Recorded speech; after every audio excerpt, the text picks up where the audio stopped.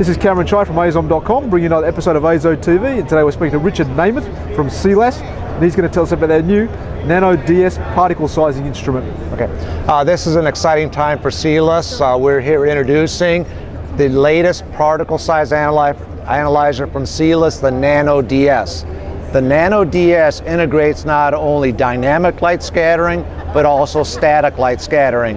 It is the ideal particle size analyzer if you're wanting to analyze particles from 0.3 nanometers to 10 microns. As I mentioned before, the Nano DS offers the best of both worlds.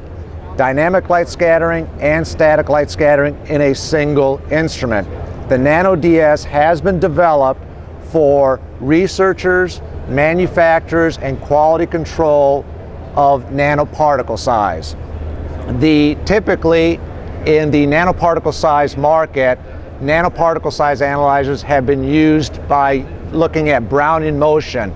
Small particles will move quickly, larger particles will move more slowly. The problem is Brownian motion does have some limitations. Cilas has overcome these limitations by integrating both dynamic light scattering and static light scattering in a single instrument.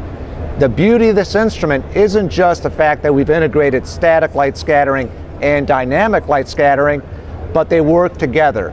You use static light scattering, you scan all the variable angles, measuring the Brownian motion at multiple angles. The software will then identify which angle gave you the highest signal to noise. This is the angle that is best suited for that sample.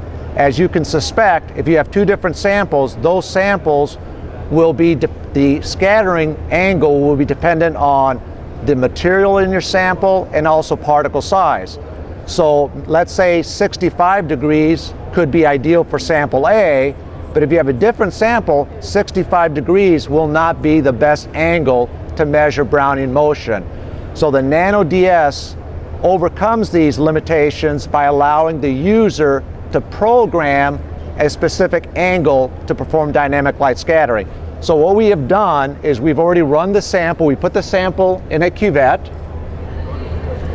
put that into the instrument, close the door, and since we've already performed static light scattering, we know which angle is best suited for measuring the Brownian motion.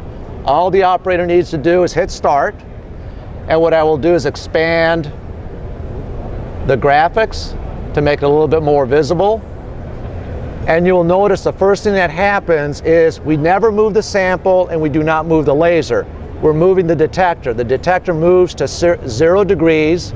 It initializes a stepper motor. And now for this specific sample, we've determined that 60 degrees is the ideal angle.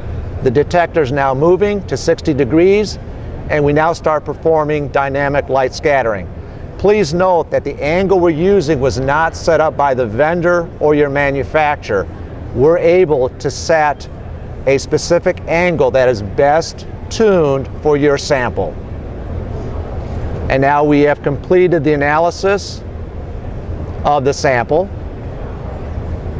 All of the data is stored in a database. You can export the data, you can print the results.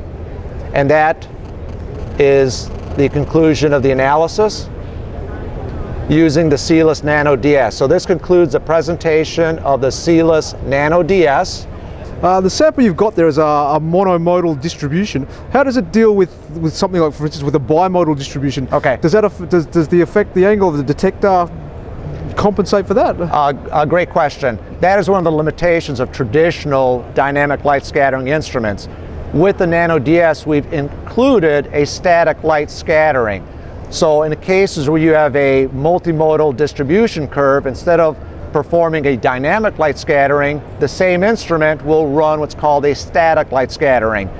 That is a better approach to particle size analysis than dynamic light scattering. Again, that's one of the benefits of the Cilas Nano DS. If you have any questions, if you would like to have our lab run some samples for you, or if you wish to have a product manager visit you to perform an on-site demonstration, please contact Cilas at www.cilas.com. That's C-I-L-A-S.com. Thank you for your time. All right, Richard, thanks very much for taking a few minutes to tell us about the Nano DS. Okay, thank you.